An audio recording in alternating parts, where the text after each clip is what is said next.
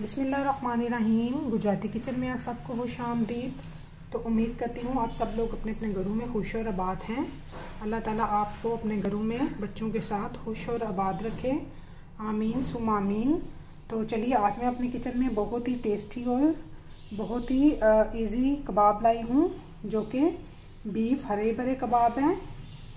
मैं आज लाई हूँ बीफ हरे भरे शामी कबाब, जिनकी रेसिपी बहुत ही ईजी है। तो चलिए, सबसे पहले मैं आपको इंग्रेडिएंट्स बता देती हूँ। इधर मैंने ले ली हैं 10 से 12 अदद सुरख गोल मिर्चें। इधर मैंने ब्लैक मिर्च ले ली हैं जो कि 8 से 9 अदद है।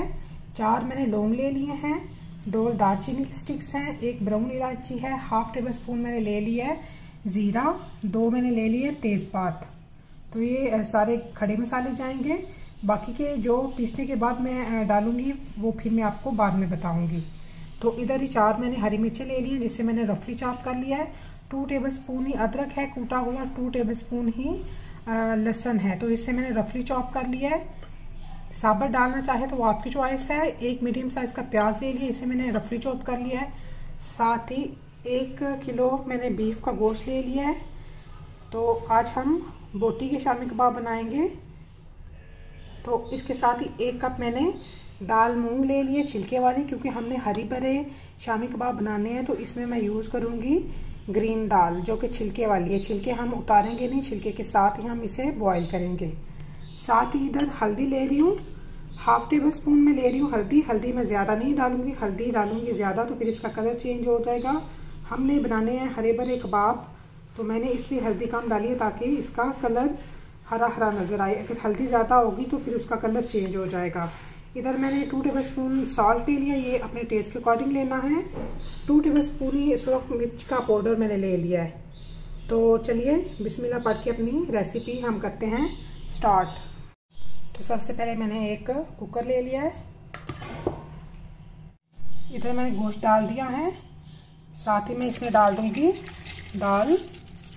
दाल का पानी मैंने पहले दो तीन दफ़ा धो के इसे गीला किया था, आधा घंटा पहले। तो अब फिर सारा पानी मैंने इसका निकाल के तो अगर थोड़ा चला भी जाता है तो कोई इतनी बात नहीं है। तो चलिए, सारे इसमें मैं डाल दूँगी सब्ज़ी डालूँगी हरी मिर्च, लहसुन अदरक, कूटा हुआ और प्याज।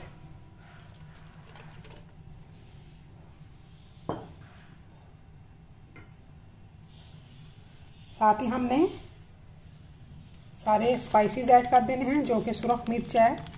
तेज़पात है ज़ीरा है लौंग है दालचीनी है और साथ ही ब्राउन वाली इलायची है। तो इसके साथ ही हल्दी डाल दूँगी नमक डाल दूँगी सुरख मिर्च का पाउडर डाल दूँगी। तो इसमें पानी डालूँगी मैं तकरीबन दो गिलास के करीब पा, पानी डालूँगी। इतना काफ़ी है क्योंकि मैंने इसे स्टीम देनी है। तो अगर स्टीम देनी है तो फिर आपको कम आ, कम ही पानी जो है ऐड करना पड़ेगा। इसे मैं कर लूँगी मिक्स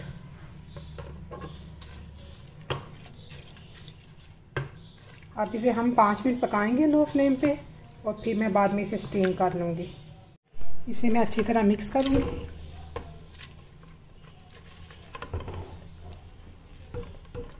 पानी बिल्कुल ही हमने थोड़ा डालना है। तो चलिए फ्लेम में ऑन करती हूँ। तो इसे मैं पाँच मिनट पकाऊँगी कवर करके तो फिर मैं इसे स्टीम दूँगी। इसे मैं अच्छी तरह मिक्स करूँगी।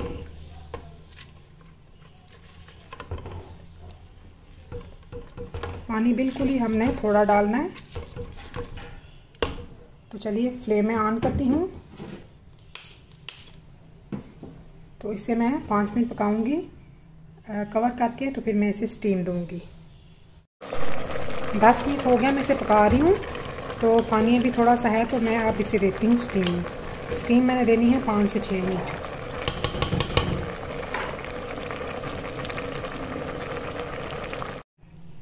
छः से सात मिनट मैंने स्टीम दी है। फिर मैंने इसे किसी खुले से बर्तन में डाल के तो ठंडा कर लिया है। तो अब मैं इसे पहले चॉपर में चाप करूँगी और फिर मैं आपको साथ साथ बताऊँगी कि मैंने और क्या क्या चीज़ ऐड करनी है। तो अभी मैं इसे चॉपर में चॉप कर लूँगी।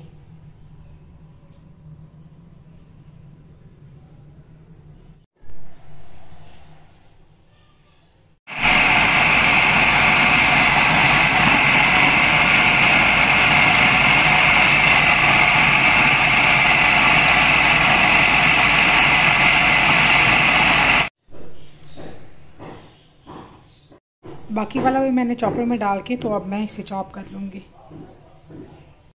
तो ये सारे मसाले थे ना, जो वाले कड़ी पत्ता और ये लौंग वगैरह, दालचीनी मैंने निकाल ली है। तो शामी कबाब के अंदर एक तो ब्लैंड भी नहीं होते, दूसरा बच्चे, बच्चों के मुँह में आए तो वो नापसंद करते हैं। तो ये सारी चीज़ें मैंने निकाल दिया तो कबाबों का मिक्सचर सारा मैंने ब्लेंड कर लिया अब इसका नमक मिर्च थोड़ा चेक करूँगी।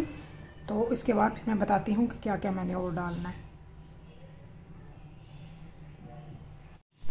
अब मैं डाल रही हूँ इसमें वन टेबल स्पून मैं डाल रही हूँ सूखा धनिया और वन टेबल स्पून मैं डाल रही हूँ गरम मसाला।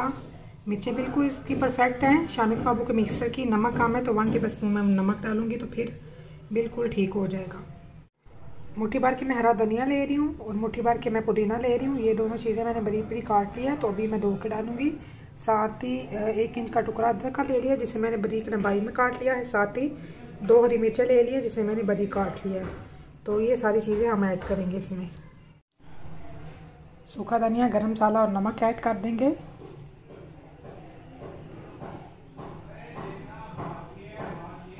अदरक डाल दूँगी। मिर्चें डाल दूँगी।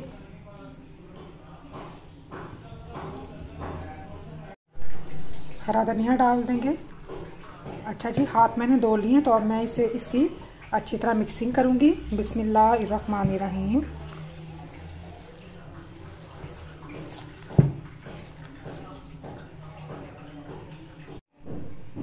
सारे कबाब मैंने बना लिए हैं तो आप अपनी मर्ज़ी के मुताबिक बड़े, छोटे कर सकते हैं कबाब। जैसे भी आपको साइज़ पसंद है, आप वैसे बना लें। तो देखिए लुक इतनी अच्छी लग रही है इसकी। हरे बड़े रेशेदार कबाब हैं। तो चलिए इसे हम फ्राई करते हैं। इधर मैंने एक एग ले लिया है। साथ ही हसबे ज़रूरत में डालूँगी इसमें सॉल्ट साथ ही इनमें, इसमें थोड़ी सी मिर्ची हम डाल देंगे। और इसे मैं करूँगी मिक्स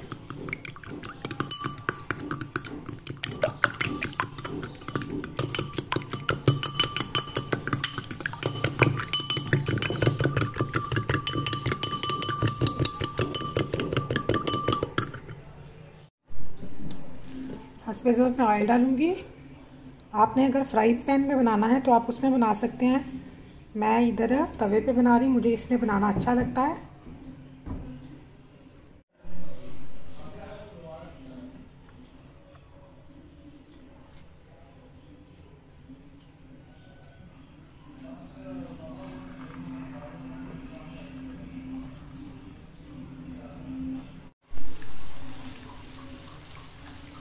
कबाबों की साइज़ चेंज करेंगे।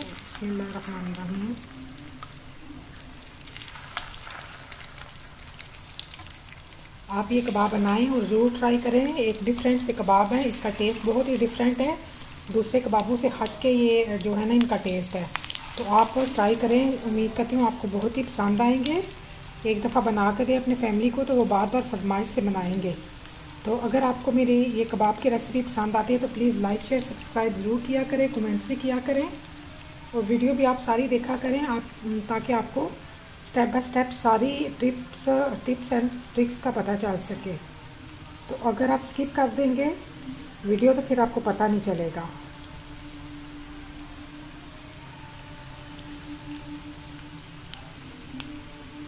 तो माशाल्लाह सुबहान अल्लाह, कलर आ चुका है तो अब मैं एक प्लेट लेती हूँ और उस पर उतारती जाती हूँ।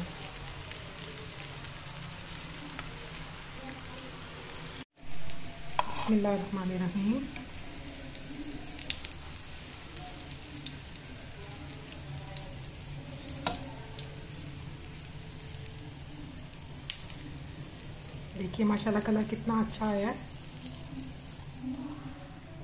तो देख सकते हैं, कितने खूबसूरत लग रही हैं कबाब। तो चलिए अब इसकी मैं आपको फाइनल लुक दिखाती हूँ। ये रही हमारे कबाबों की फ़ाइनल लुक उम्मीद करती हूँ आज की सिंपल सी और मज़ेदार रेसिपी बहुत ही पसंद आएगी। आज मैंने बनाए हैं रेशादार हरे भरे कबाब, जो कि खाने में बहुत ही टेस्टी और डिफरेंट जायका है इसका। तो ज़रूर ट्राई करने हैं आपने। तो चलिए, आज की रेसिपी अच्छी लगती है तो प्लीज़ कमेंट्स करें लाइक करें शेयर करें। तो चलें, कल तक के लिए इजाज़त दें। दुआ में मुझे याद रखिए, अल्लाह ताला आपको खुश रखे, आबाद रखे। कल मुलाकात होगी, इसी के साथ मैं इजाज़त चाहती हूँ।